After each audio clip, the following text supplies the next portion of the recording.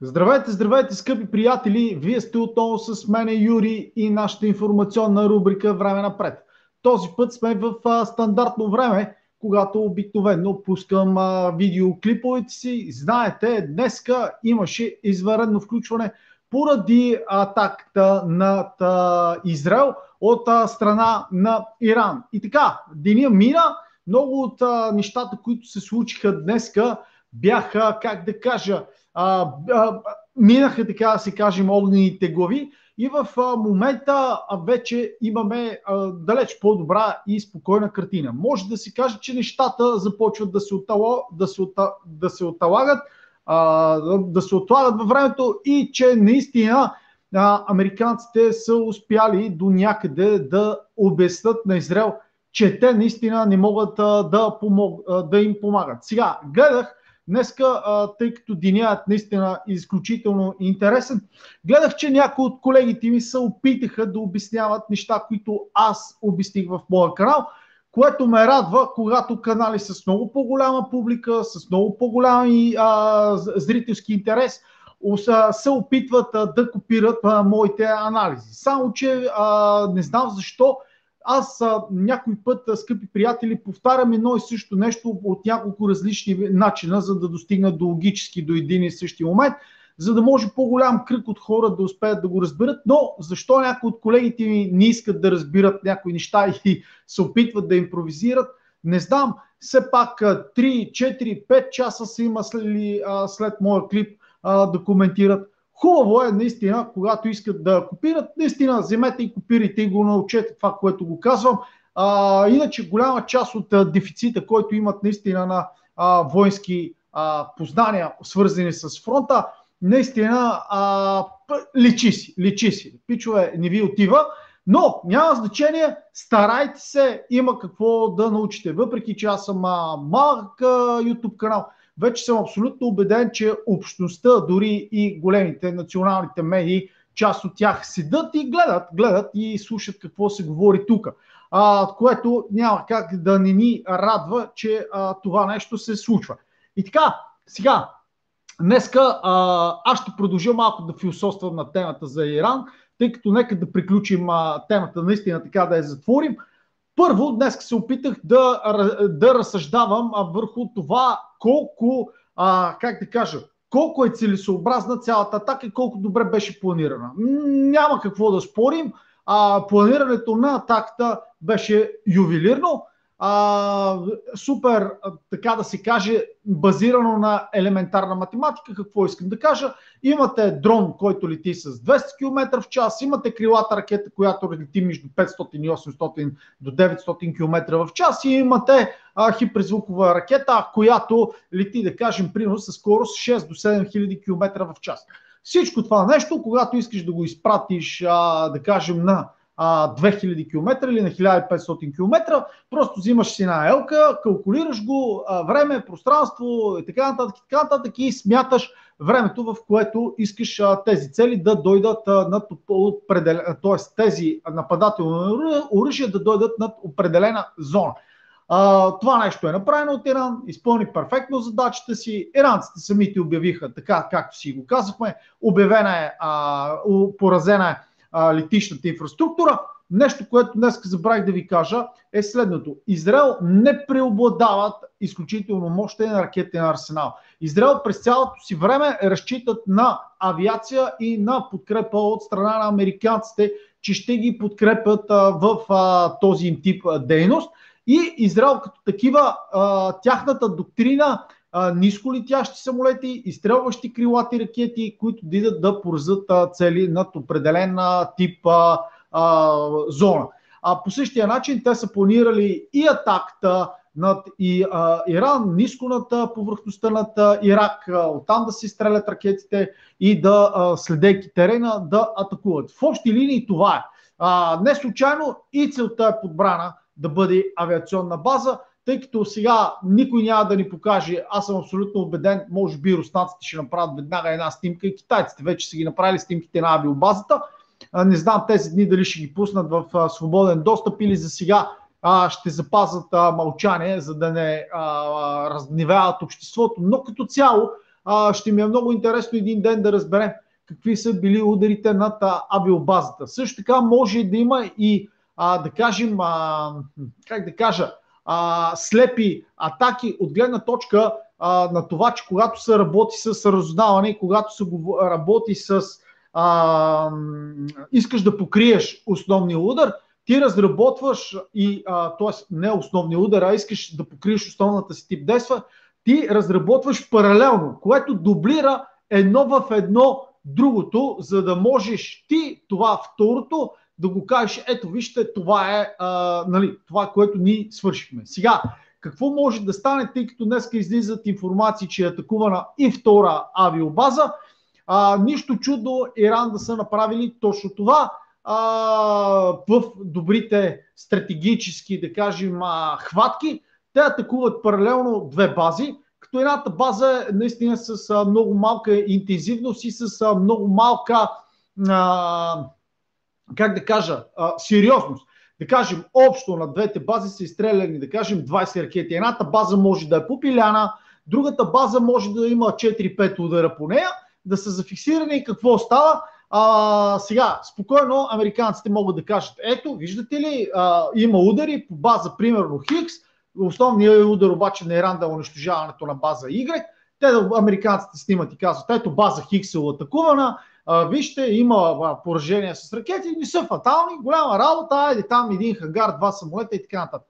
Но в общи линии виждаме изключително хитра и тънка игра и от страна на Иран, и от страна на Америка. Сега, много хора си мислят, а, че Иран и Америка играят заедно и че са договорени. Не, а, това се казва ситуационен партньор. Тоест, в една и съща ситуация, два дори коренно различни, от коренно различни страни имат а, за цел да излезат, а, тъй като ситуацията е изключително неудобна, да излезат по един а, подходящи за двете страни начин, за да може и двете страни да бъдат печеливши в кавички.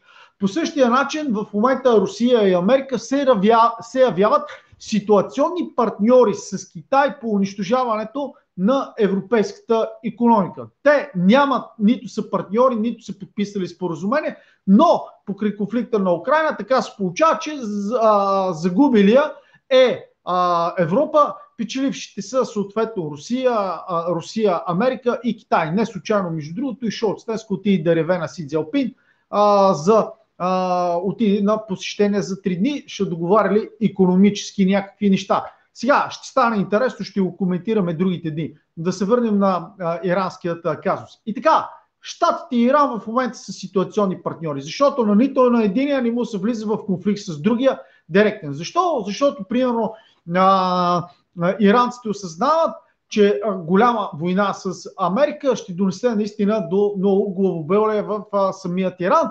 А, американците пък от своя страна а, осъзнават, че заради Израел няма смисъл на този етап хиляди, ако не и стотици хиляди американски войници да отиват и да си полагат живота в някаква държава, някъде на другия край на света.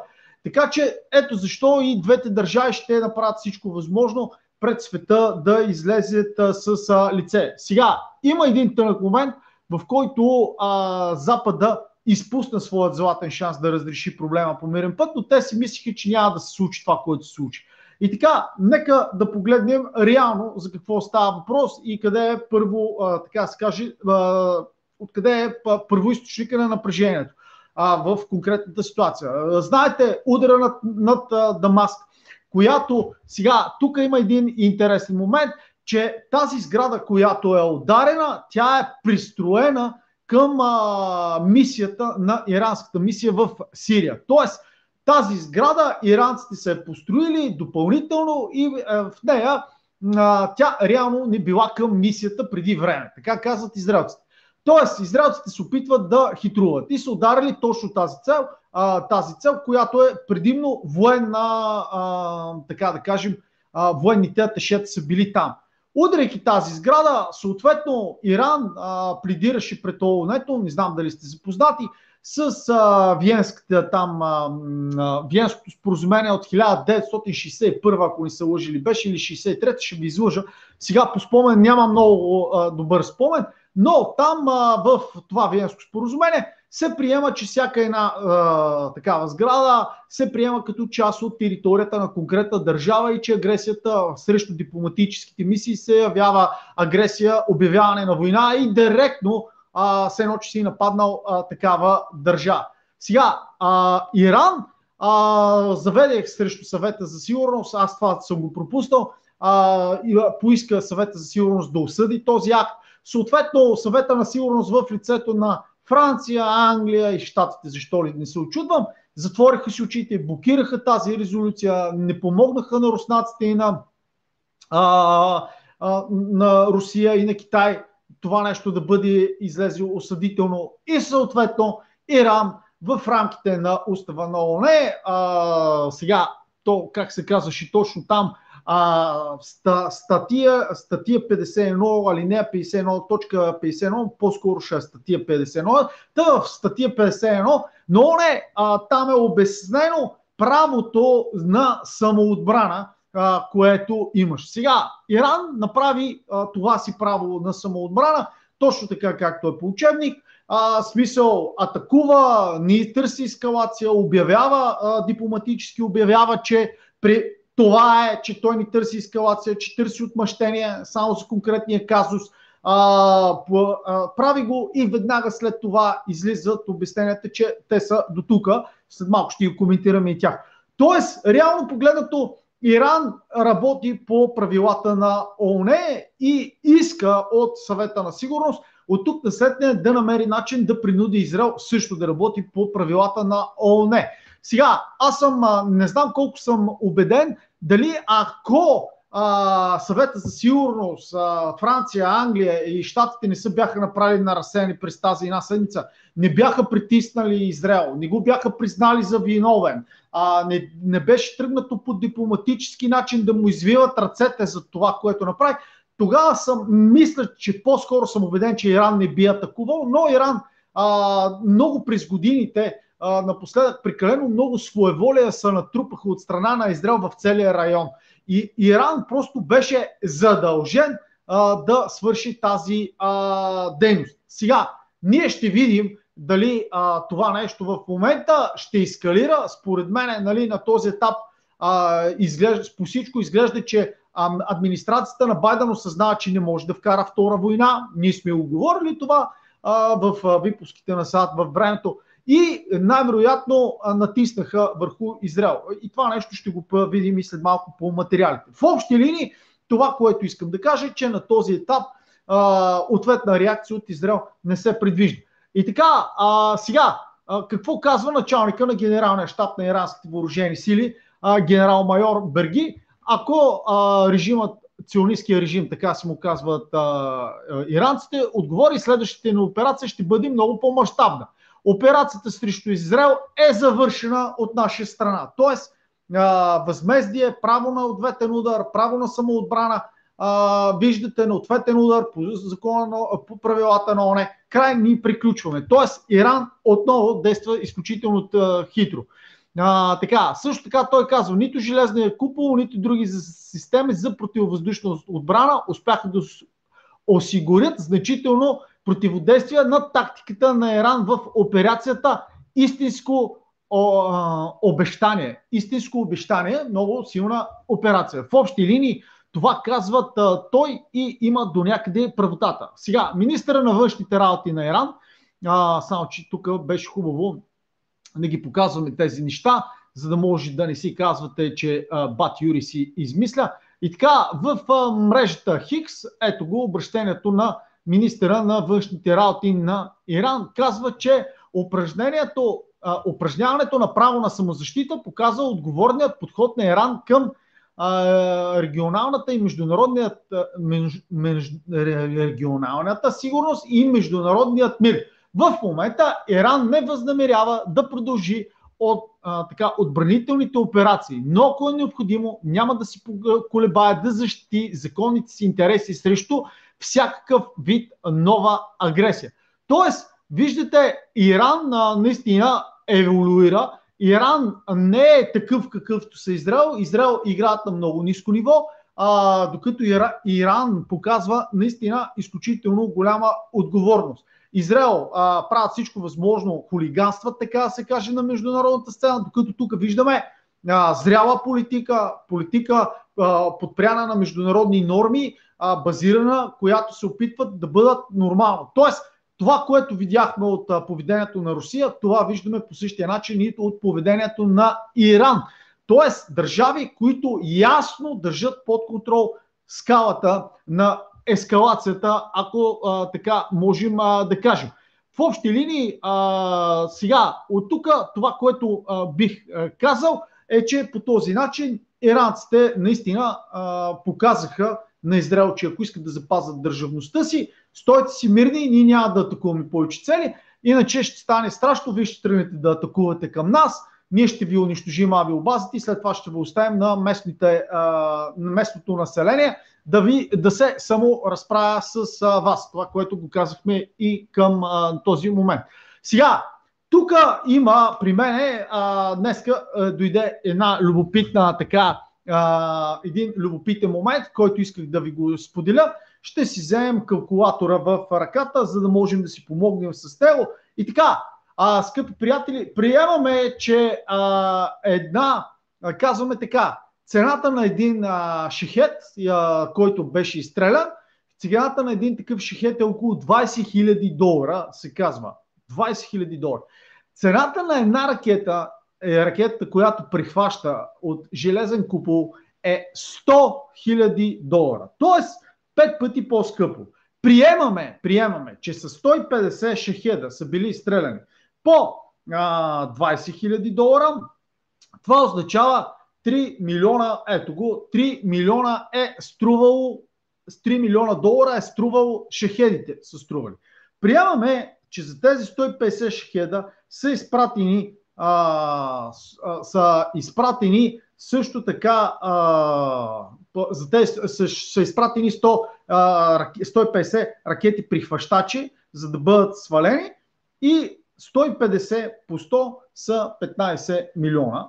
Тоест, ясно се вижда а, къде, са, къде е едната сума 3 милиона и къде е другата 15 милиона. Тоест, ние виждаме много прагматичен подход от страна на Иран. И всеки, който си мисли, че Израел е прихванал и унищожил а, шахедите, не е хора.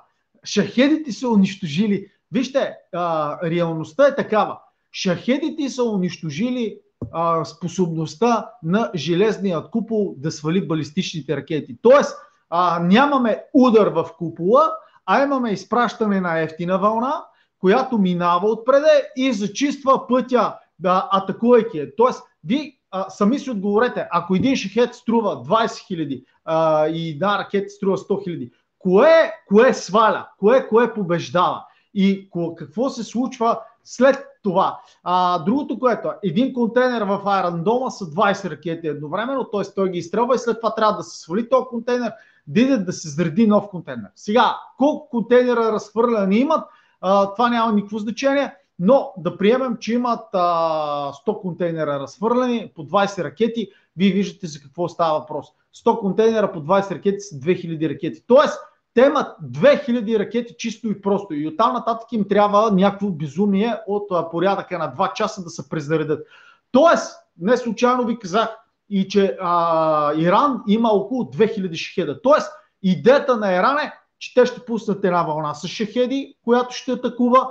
Тя няма да е безобидна, тя ще си бъде нацелена към, да кажем, примерно военна инфраструктура, складове, депа, радиолокационни станции, писти, пулси, да, всякакъв такъв тип инфраструктура ще бъде. Тоест, ако те, те не могат да кажат, примерно, а, смисъл израелците не могат да кажат, ми ние ще пропуснем шахедите, нека да, да ще прихващаме другите ракети. Не. Защо? Защото ти ако пропускаш шахедите, шахедите ще бият. Шахедите може също така и да се насочват и към а, база на железния купол. Ти не знаеш къде ще бъдат насочени. Тоест целта може да бъде унищожаване на железните куполи. Това е едното. Второ, представете си след тази вълна от 2000 а, шахеда, срещу която ще бъде изпратен, ще бъде изстрелян целият ресурс от 2000 ракети. Колко после ракети да имат израелците в рамките на 2 часа да презаредат? Иран няма да им го дадат. Веднага ще дойде вълната, веднага след това ще дойде вълната с балистичните ракети крилатите ракети, която ти израелците вече няма да имат какво да им помагат. Кой ще им помагат? Америка, а, Америка или, ще, или а, Англия, които ще дойдат от някъде откъде, в колко часа ще дойдат, а, нали, това не е шахеда, който се движи с 200 км в час и още като мине над Йордания, той ще каже, а, минават шахеди, чакайте, ще им да ги предупредим, ние ще дигнем авиацията си. Не, това е балистична ракета. О, покачва се горе и от стратосферата, примерно, а, тръгва надолу. Така че стават много интересни неща. И точно това показва, че иранците бяха по-подготвени за този тип дейност. И иранците наистина са напипали слабото място на Израел. И те го показаха. А, в общи линии това, което искам да кажа е, че всичко е, е коства средства. Извинявам се много, че пак така продължихме по тази тема, а, но наистина темата е днеска е шумна тема номер едно. И така, отиваме а, оттам, отиваме в следващата малка новина, която имаме днеска. Тя също е свързана с ця, цялата тази пътаклама, така да се каже. А, влизаме в ето, не тук, какво направих, следващото а, материалче. А, следващият материал е ето този кратък малък материал. А, той е от Нью Йорк Таймс и така, слушайте сега какво става. Тук Натаняхо, Натаняхо се отказва от ответните атаки срещу Иран след разговор с Байден. Президентът на САЩ Джо Байден а, така разобеди израелския премьер Бентамин Натаняхо да отвърне незабавно на Иран след на нощното нападение. Това казаха от Нью Йорк Таймс. Според начални, а, началните данни, няколко членове на израелския военен кабинет са се а, изказали в полза на ответна атака. Но липсата на сериозни щити, както и разговора на Натяняхо с Байден, са довели до нейното отмяна до нейната отмяна, отбелязва медията. Възможни израелски атаки срещу ядрените въоръжени сили също а, са били а, част от разговора. Същата новина днеска я пускат и този Йенет, израелския портал, който е да атакува ядрените съоръжения на Иран в отговора на атаката, която са направили самите иранци. Военен, израелския военен кабинет обмисля възможността за удари на ядрените съоръжения на Иран като отговор на нощната атака. Изяснява се, че САЩ възпират еврейската държава от евентуални а, ответни действия в този материал. Тоест, виждате, имал разговора, който се провели двамата лидери на Таняко и Байден, е подействал отрезвително за а, самият а, Натаняхо. Следващата новина идва от NBC. Напоследък какво става? NBC цитираме. Еми на NBC, шаренко, красивичко, какво да кажем. И така, няколко високопоставени служители от САЩ са загрижени, че Израел може да направи нещо бързо в отговор на атаките на Иран, без да обмисля евентуалните последствия след това. Според високопоставени служители от администрацията и висшите служители на отбраната, съобщава NBC News. А, така, тези опасения проистичат а, отчасти от вижданията на администрацията за подход, който Израел, момент само, Израел е възприел в войната си срещу Хамас, както и нападението над а, сирийският, а, сирийския град Дамаск. Президентът Джо Байден лично изрази загриженост, че израелският премьер Бентанин Танахо се опитват да въвлече щатите по-дълбоко и по-широко в конфликта. Според трима души запознати с коментарите му. Белият дом вярва, че израелците не търсят по-широка война или пряк война с Иран, но а американските служители не могат да бъдат сигурни, казва високопоставения служител на администрацията. Сега слушайте много внимателно какво се казва тук. Американските служители изразиха частично разочарование от решението на Израел да удари сградата на Иран, иранското консулство в Сирия. Забелязахте ли? Преди няколко дни прочетохме един материал, в който те казват, че осъждат това действие, защото не е съгласувано с тях и тук отново казват, че Тоест, тук пак се връщаме на а, Виенското споразумение от 1961 година, да го приемем, че е 61 година. Така че, виждате, това нещо е трън в очите на целият цивилизован свят, а, който би тръгнал евентуално да защитава Израел. Не мисля, че, има, че, има, че са имали стратегия, се казва от високопоставените служители. Израелците не винаги взимат най-добрите стратегически решения а, казва той. Висшите ръководство на Пентагона също изрази частично разочарование от времето на удара над Дамаск. Опа! И Пентагона не са доволни. Според високопоставени служители на отбраната, тъй като той имаше потенциал да бъде катастрофално ескалиращ, се казва в а, този а, материал на NBC. Сега, материала продължава още много. Аз няма да го чета целият материал. В него се казва гледната точка на а, Иран. А, има, т.е. не се казва, а се споменава, че а, Иран търсят мащабна акция с цел да а, отвърнат на тази провокация в а, Дамаск отново. А, също така се казва в този материал, че а, на Белия дом а, така обяви а, в изявление, че Байден ще се срещне с лидерите на Г7 в тази неделя, за да коментира а, единен дипломатически отговор на наглото нападение на Иран. А, се казва в този материал. В общи линии а, това е, което се споменава. Сега, а, така, Русия, Китай, Индия са много по-обрани. Дори руснаците, те нямат още официално изявление. Единственият, който отговори, Мария Захаровна, отговори на някаква изрелка от, там от Министерство, като им каза много точно следното нещо. А, вие искате ни да осъдим Иран, а съответно вие до сега нито веднъж не сте осъдили поведението на Украина. Напротив, вие обяснявате как еди, какво си, еди, що си подкрепите Украина. Дори не, не, не осъдохте и а, това, което се случи с терористичния акт. Тоест, виждате а, в общи линии а, в а, Индия, а, Индия, Китай, те са за неутрални позиции. Южна Америка, Африка тотално пък са се изключили от случая. Единствените, които са пля, пля, пля, пля, пля, пля, са европейците. Ама както казах, тях кой ли ги и слуша. В общи линии а, това е, което можем да кажем за този конфликт и мисля темата за днеска да бъде затворена. Сега, ние отиваме обаче от а, с, единия конфликт, отиваме в другия, нашия прав, т.е. по-главен конфликт. И така, връщаме се набързо в картата на бойните действия на, на, а, на Украинския фронт. Това, което можем да кажем е следното нещо. Отново а, много а, прогрес от страна на руските формирования. Започвам с Новомихайлівка. Защо? За да не я забравя, тъй като не е показана.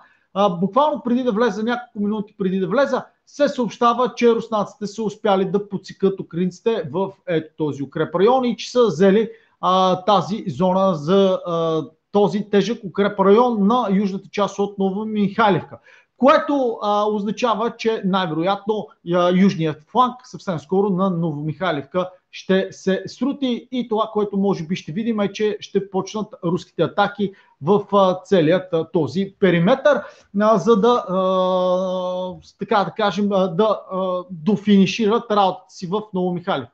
Също така се съобщава за продължаване на битката в този малък, тази дачната зона. Така че тук може да се каже, че руснаците днеска генерират успех, който е значим, ако е факт и се докаже. Оттам отиваме а, горе в а, това направление. Виждате днеска това, което става като информация, се съобщава, че ето тази част е консолидирана също. Сега все още също нямаме а, потвърждения за тези части, а, че са консолидирани. Но като цяло това, което можем да кажем е, че ясно се вижда, че руските формирования като цяло успяха да консолидират ето този голям район, който беше последният тежък укреп район от украинска страна. Сега ние много а, сме го чертали, обяснявах го надълго и широко, а, украинците остават а, да правят ето тази дъга. Но вече тук като цяло дъгата е в а, полза на руските формирования и а, настъпателните действия ще бъдат, а, а, как да кажа, а, в полза на руснаците. Нека така да го кажем. Така че тук ще гледаме развиване на руската атака. Аз съм сигурен, че тази малка дъга, която е между Умске, а, Ясноборивка и Нетайлова, няма да се задържи кой знае колко дълго. Още повече, че руснаците се опитват да пресекат реката и тук. Така че интересно ще стане, но в общи линии това, което се вижда е, че руските формирования продължават да а, генерират успех. Много важно, пак казвам, беше ето тези а, укреп райони. Момент, ето този укреп район, който беше геобразният тук. този укреп район да мини под руски контрол. Мина от тук нататък единствено остава само тази спънка. А, в общи линии това, което можем да кажем от южния фланг на Авдиевка. Северно от руснаците днеска генерират абсолютно значим успех и вчерашните догадки, които имахме, днеска се превъплащават в истина и се вижда ясно, руските формирования започват да овладяват този плац. Качиха се на Байра, успяха да си подсигурят фланговете, успяха да спрат а, украинските атаки, които се опитваха, украинците се опитваха в продължение на а, два месеца да правят а, тук едни, да мишкуват, така да се каже, във фронта, но виждате, руските формирования успяха да наложат а, темпо, воля. Първо отбиха атаките тук, сега виждате, успяха да разширят плаца си. Едно, че успяват да разширяват плаца си, успяха да вземат този а, укреп район. В общи линии, виждате, а, тотална, тотално започнаха да доминират и на този а, фланг. Фланг, в който трябваше 57 или 47 бригада, която трябваше тук с Абрим Брим, Брим, Бримсе и Бред Бред Бен Бредлита да се опитат да спрат а, руските сили, но това, което се получава е едни огромни хиксове върху тяхните колони на придвижване. И днеска кадри, а, да, сега ще ги покажем, кадри а, в а, тази зона. А, забравих, щях да ви ги показвам, но забравих. А, кадри в тази зона на а, ударени бредлита, о, изключително много ударени бредлита. Цял, а, как да кажа, цял гробищен парк. Тук на кадрите се виждат три бредлита, различни модификации, така да се каже. А, виждат се ясно, ето сега едното Бредли а, ляво, другото малко по-надолу в канавката, другото в дясно, дясно се вижда много хубаво, другото в канавката, където е войника, който върви напред, другото е в ляво. И така, а, тук всичко е в тази, в тази а, така да се каже, а, хайде стига толкова, а, целият клип ще го видите в телеграм канала ми, след предаването ще го публикувам. И така, тук всичко това нещо е ето по този път, някъде по ето този път, който е тук. Сега, тук е ясно какъв е замисъла на руските формирования. Замисъл е следния. В момента дори се говори за атака и върху ето тези лесопулси, а, за опит за взимане на контрол на ето тези лесопулси. А, така, така че а, наблюдаваме. Замисъла тук е много прост, много лесен. А, това е високата част. Атака към Очеретине, след, след което а, Новобахмативка и взимане на фланг и на ето този укреп район, който вече след като се вземат горните страни, руската атака ще се развива ето по този а, начин, което наистина тотално ще а, разбие целият отбранителен обръч, който е тук. Това е началото на трета, на втората отбранителна линия, т.е. не, на третата отбранителна линия, която имат на Авдиевка. Т.е. успеят ли да срутат ето този, а, тази част от фронта, руснаците ще успеят да доминират в, а, го сложим малко по-в центъра, а, за да може да е ясно. И така, ето това е, да кажем, тази част от а, фронта. От тук тръгва третата линия, тук отива към Нью Йорк, и така, целта на руснаците е ясна. Това, което се показахме по високите части, взимане на този пункт, взимане на този пункт, а, разбиване на формированията, които са ето тук а, и овладяване на този плац. Взимане на този пункт означава контрол над тази линия, прекратяване на тази взаимовръзка и флангове атаки в този и централни атаки в този укреп район. Което означава следното нещо, че украинците, ако искат този град да не пада, ще трябва да вкарват реинформ подкрепление тук да пълнат, за да могат да задържат. Обаче аз като ги гледам, че нищо не могат да задържат и че един бредич не можаха да задържат, виждате какво ги чака. Просто наистина ти първа почват дните на а, голяма а, умиротворяване на украинските формирования. Ти първа ще започнат тежките дни. В общи линии, а, сега, за да сме за да съм чисто и ясен, а, така както подходиха руските формирования, битката за Авдиевският а, микрорайон ще се реши ето в тази зона. Когато това нещо премини и стане под контрол на руските формирования, т.е. когато линията на фронта стане ето така, ще сме сигурни, че руснаците са взели това направление. Защо? Защото тук нататък за тях ще е лесно да си изберат посока и да си изберат какво точно ще искат да направят с украинските формирования. Но като цяло това им е важният подстъп, който трябва да вземат. Тук този район може би ще им отнеме около лятната кампания, ще е тук. В общи линии така беше и планирано по принцип и аз много пъти така съм го казал, че това нещо ще им отнеме толкова време. Отиваме на следващата много а, избухлива точка. Виждате, руснаците добутаха, така да се каже, въпреки че не е така, руснаците взеха и последната част от тези, тази траншейна линия. А, в момента се създава изключително тежък прецедент. Защо? Вчера го обяснях защото се създала ситуация, в която руснаците могат да пробият и да влезат на другата страна на канала. Сега, тук украинците ще трябва да вземат изключително тежко решение. След малко ще го чуем, но като цяло украинците ще трябва да вземат решение. Дали да изоставят тази част на част София и да приберат армията си а, възможно най-бързо и да подкрепят тук и да подкрепят тук с формированията и, а, и по този начин да спрат атаката на руснаците или да продължат да а, инетат за тази част на часов яр и а, това, което могат да получите, пробиви от тук и от тук от руските формирования.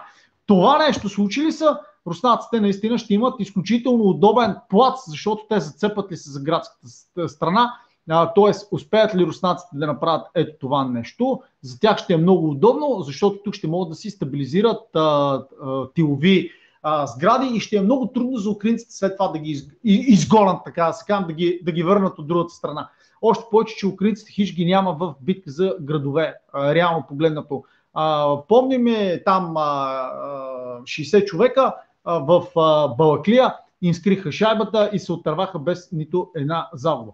Така че това е което може да се каже. Още повече днеска, дори тук горе в Богданивка, Виждате много малък прогрес, той е много незначителен, вчера го докладвах, днеска го виждаме вече този прогрес и остават буквално ето това остава от селото.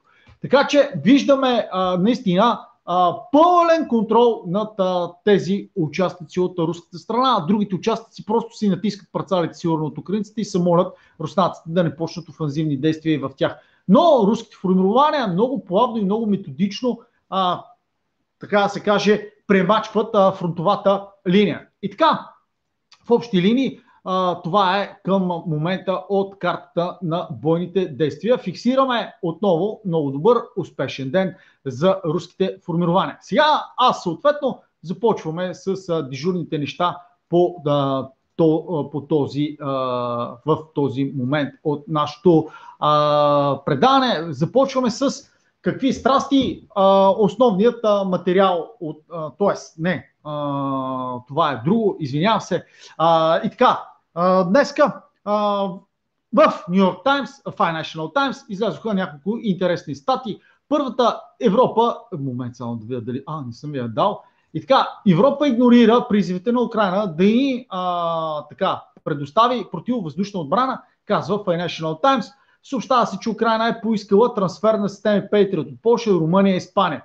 Тя се нуждае само от 7 системи, казва пред изданието човек, запознат с преговорите, но е много трудно. Европейските столици заявиха, че нямат планове да изпращат повече системи с аргумента, че трябва да спазват отбранителните способности. Германия прихвърли две системи Patriot на Украина, но тази седмица даде да се разбере, че няма да предостави повече. Дуда също, това го казахме, че в момента няма възможност, тъй като се обучават в този момент полските войници. Така че, виждате, за сега игнорират тези моби. Тези моби са игнорирани. Само, че днеска, малко по-късно, смисъл не днеска, вчера, тъй като това са от вчера новини, малко по-късно, момент, само, само да изкарам материала, а, ха, ха, ха, ха а, излезе в Такшпигел, момент, а, в Такшпигел излезе тази новина, в която се съобщава, че а, Украина момент. А, Германия ще изпрати все пак на Украина още две системи от Patriot. А, това се казва в материала, т.е. в единия материал, той излиза малко по-рано, другия материал веднага съобщава обратното. Поради увеличението броя на руските въздушни удари над Украина, федералното правителство реши да, запа, да засили украинската противовъздушна отбрана, съобщава Германското министерство на отбраната. В момента Бундесфера, Бундесфера е предоставя на Украина две установки Patriot и в момента се обсъжда да изпрати общо още две. Общо в Германия ще останат около 10 а, такива установки. В общи линии това е което виждаме, т.е. Германия преосмисля и решава да даде а, още две, колкото най-вероятно, за да спре да им мрънка Украина и колеба и там всички тези да спрат да им досаждат. За да може Германия да се фокусира в срещата с а, Си Цзелпин, която е далеч по-важната. Следващият а, малък материал, който идва, отново е от а, New York, от Financial Times. Съобщава се, че а, така, не това. А, Financial Times казва, че през лятото Русия вероятно ще настъпи от 4 посоки. Възможно е настъплението към Харков, а, Луганск, Донецк и Херсонска област. Още веднъж американците пишат а, а, американците пишат момент А, и така, а, о, така, а, Financial Times, скъпи приятели, втората статия от него е, че през лятото Русия вероятно ще настъпи от 4 посоки. Възможно е настъплението към Харков, Луганск, Донецк и Херсонска област. Още веднъж американските, американците пишат, възможно е нападенията над Харков през лятото. Град с над милион жители, слухът, разбира се, може и да се окаже, че не е верен, но все пак е военна математика. Макар, че когато руската армия го е взела а, така преди в а, предния път, всички жители на Харков а, трябва да напуснат града. А, те, а, така, те самите а, разбират защо това нещо трябва да го направят, а, за да го превърнат в бойно поле в общи линии. Това е идеята на американските а, мислители. Тоест, колкото по-зле, толкова по-зле. А, следващата малка новинка, която имаме а, за вас е от The Telegraph. Момент. Само да я заредим и нея. Днеска така ще бъде. И така, без нови доставки, без помощи, украинските въоръжени сили скоро ще трябва да се оттеглят към Днепър.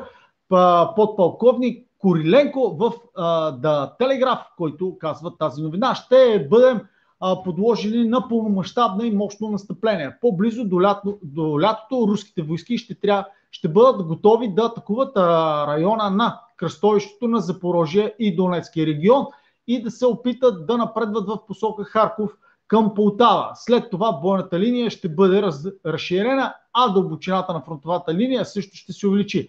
Казва той. Тази линия ще замръзне до река, а, по реката и Киев ще загуби, Украина ще загуби територията си чак до Днепър, казва той. Еми, аз също съм го казвал, че руснаците този ход на развитието на събитията изключително много ги устройва. А, също днеска има изключително интересен материал, който отново идва от а, западните медии. А, така, момент, само че коя беше тази западна медия? Това е украинският а,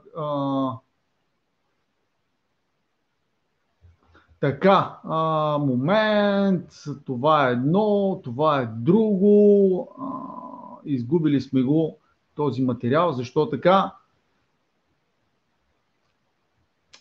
Да, изгубихме го този материал. В общи линии, а, това, което се казва в този материал, а, днеска а, набързо ще го а, споделя, е, че а, украинците са, украинците са а, силно притеснени от това, че руската офанзива изключително а, силно натиска в посока а, ча, а, Часофяр.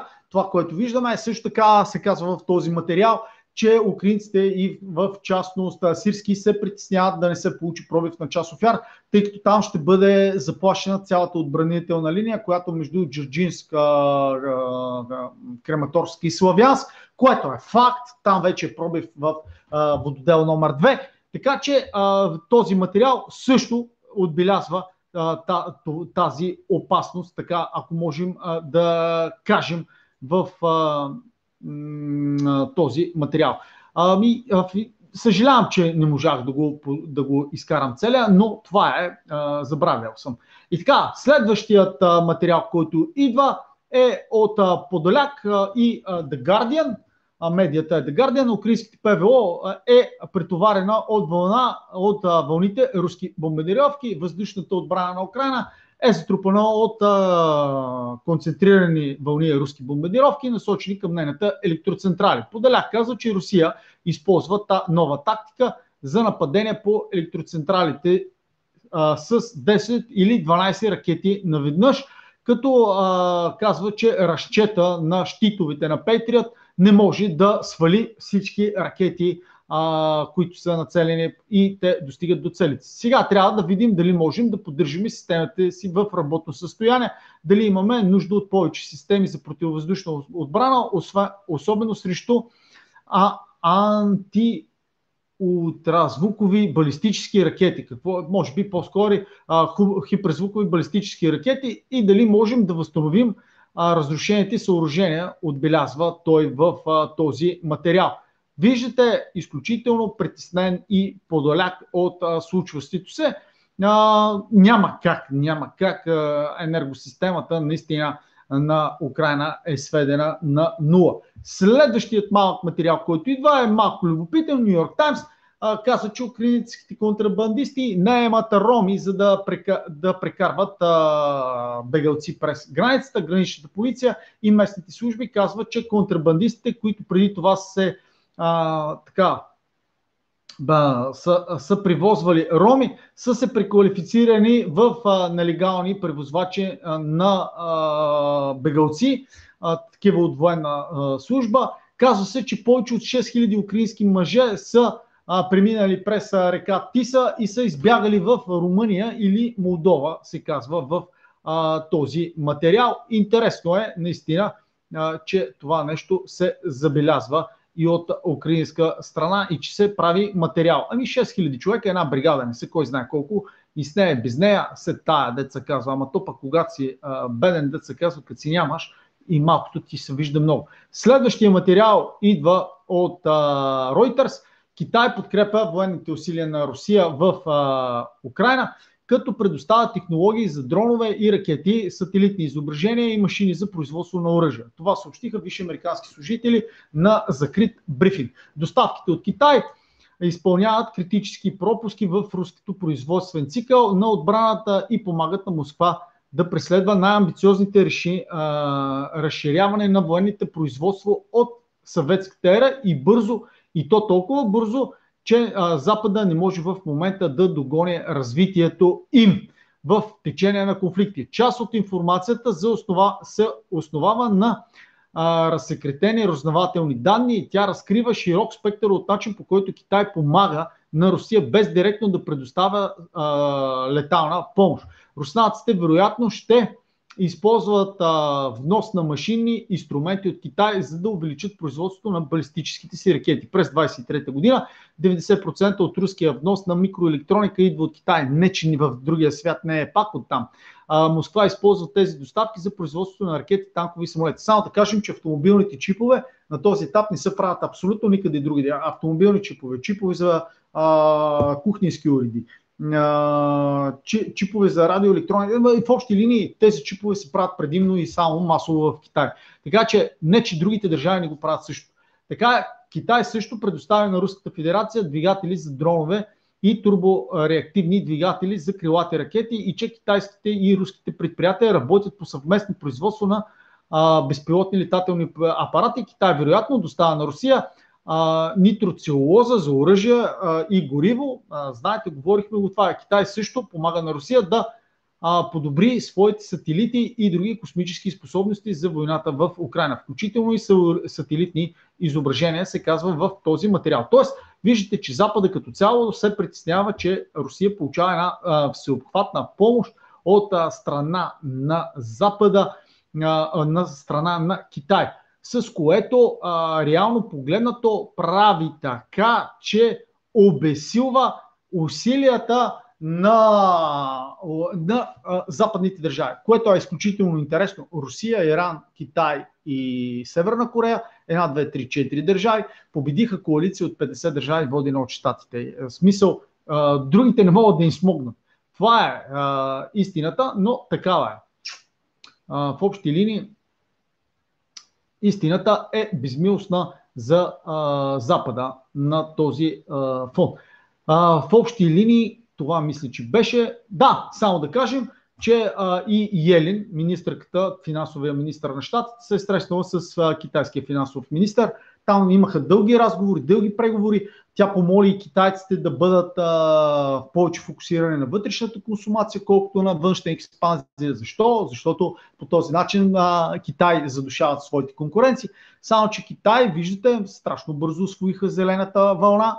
В момента са топ едно индустрия в света по производство на абсолютно всички неща за възобновяемите източници. И само да кажем, че 90% от клетките за производство на възобновяеми източници се произвеждат Китай. 65% от електрическите автомобили се произвеждат от Китай. И какво беше още другото, в момента го забравих. И това нещо, което искам да ви кажа, забележете какво се случва, скъпи приятели. Запада измисля, измисля някаква фишка, т.е. измисля някаква лимба и казва, ние почваме да го правим високотехнологичен бранш, примерно електрическите автомобили. И примерно първите 4, 5, 10 години или там няколко години, те са топ 1, а, някакви хора като Илон Мъск стават милиардери и стават супер известни. И следващия момент идва една държава като Китай и почва клеп, клеп, клеп, клеп. И в един момент идват американците и казват, ама чакайте, вие трябва да се фокусирате, не трябва да се фокусирате на външния пазар, трябва да се фокусирате вътре във вашия пазар. Тоест, а, те не искат Китай да има експанзионизъм и да продава навънка. Те искат Китай да се фокусира само на собствения си пазар. И фактически американските технологии да се продават на китайския пазар и американците да богатеят от, да богатеят от китайския пазар.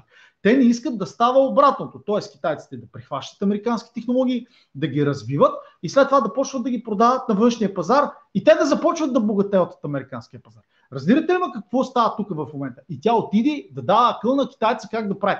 Економика, която едва ме едва ми скрета 2,5% с отваряне на война, с наливане на милиарди, печатани и така нататък, и така нататък, отива да дава съвет на економика, която е 6 плюс процента. Ръст а, нещо, което е нали, супер смешно и забавно. Не, че китайците ще се съобразят. Абсолютно не. А, мисля, че и индийците започнаха да копират а, този модел на поведение. А, в общи линии това бяха интересните неща от а, днескашният ден.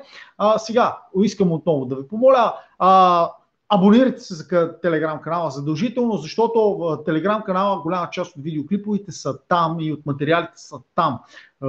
Отдолу под видеоклипа ще намерите три линка.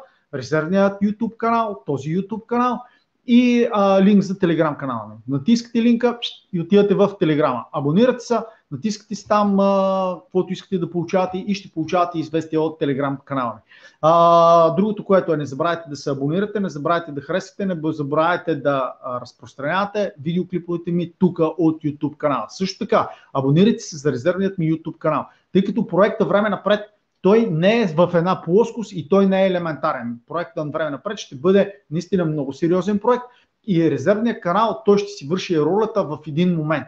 На този момент обаче най-важното нещо е вие да знаете тук телеграм канал, защото в един момент ние можем да решим да видим в, ако администрацията на YouTube нещо реши, че, трябва, че този канал не е в ред и реши да го, а, да кажем, да го забави за известен период, ние ще се преместим в другият YouTube канал и ще продължа там, без прекъсване, там да правя това, което правя тук. Така че, за да не губите връзка, ако искате, влизате, абонирате се на двете места, влизате в Telegram канала, ще получавате известия и така ще може да не губите никакъв, никаква връзка. В общи линии това е което искам да ви кажа. Абониране, абониране, абониране, харесване, харесване, харесване, харесване. Това е. Сега пожелавам ви хубава, спокойна вечер. Ще се видим утре и успешна нова седмица в, през следващата седмица. Чао, чао! За мен беше удоволствие да съм ваш домакин.